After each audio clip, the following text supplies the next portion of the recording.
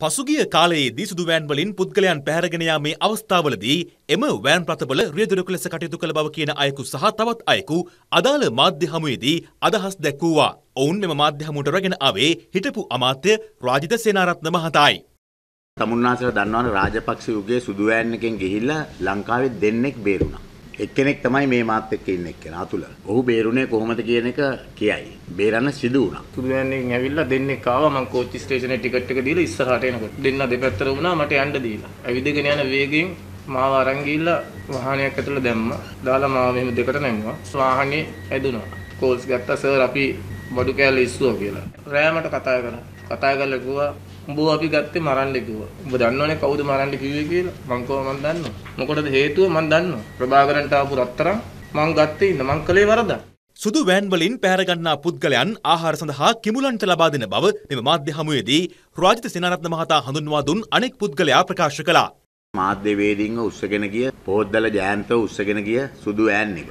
ඒ සුදු ඈන් එක අයිතිකරු තමා සහ රියදුරු තමයි මේ මගේ දකුණු පසින් ඉන්නේ. ප්‍රශ්නයෙන් කරනකොට ඉතින් විවිධ වද හිංසා කරන්න සිද්ධ වෙනවා. නියපොතු ගලවන්න වෙනවා. දත් ගලවන්න වෙනවා. බොඩිය කාටවත් අහු වෙන්නත් බෑනේ. මොන්රාගල ප්‍රදේශයේ තියෙන කිඹුල්ලු ග්‍රහණය වෙච්ච වැවක්. ওই වැවට තමයි ගිහිල්ලා දාන්නේ. ඒ ගෙනියන්න කලින් බොඩිය එක සම්පූර්ණ මෙතන ඉඳන් මෙතෙන්ට පලනවා. පලලා ශරීරයේ තියෙන සියලුම දේවල් ඉවත් කරනවා. සුදු වෑන් එකේ හිටන් දෙලා මා උස්සයියි දන්නෙත් නැහැ. මේ ස්ථානය තමයි පදකාගාරයේ පවත්වාගෙන ඉන්නේ. මේ ස්ථානය තමයි 2007 8 9 සුදුයන් සංස්කෘතිය ඒ ප්‍රදේශයේ කරගෙන ගියේ. රඳවා තිබ්බේ කොහොමද? හැමදේම මට කියන්න පුළුවන්. මම ජීවත් වෙලා හිටියොත් මම මේවට මැදිහත් වෙලා සම්පූර්ණ සහායකය දෙනවා මේ අපරාධකරුවෝ ඒගොල්ලන්ට දඬුවම් කරන්න. පසුගිය ජනාධිපතිවරණ සමයේ පැවති මෙම ආන්දෝලනාත්මක ප්‍රවෘත්ති සාකච්ඡාවට එක් වූ පුද්ගලයන් දෙදෙනා ව්‍යාජ රැවුල් යොදා ගනිමින් ඊට සහභාගී වූ බව ප්‍රකාශ කෙරුණා.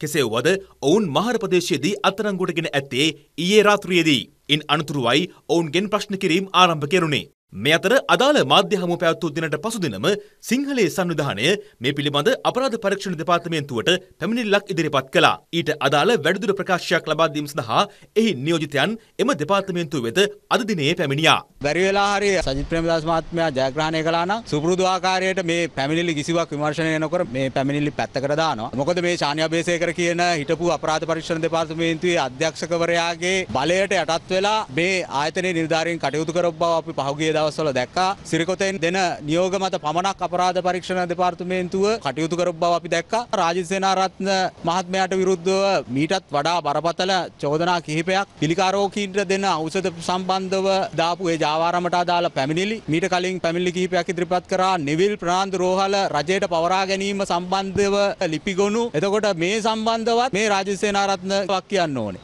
අපරාධ පරීක්ෂණ දෙපාර්තමේන්තුවෙන් ඉල්ලා හිටිනවා ඕනාවටත් වඩා පැමිණිලි තියෙන මේ රාජිත සේනාරත්න කියන පුද්ගලයාට විරුද්ධවත් හැකි ඉක්මනින් නීතිමය ක්‍රියාමාර්ග අරගෙන මොහු අධිකරණයකට ඉදිරිපත් කරන්න කියලා.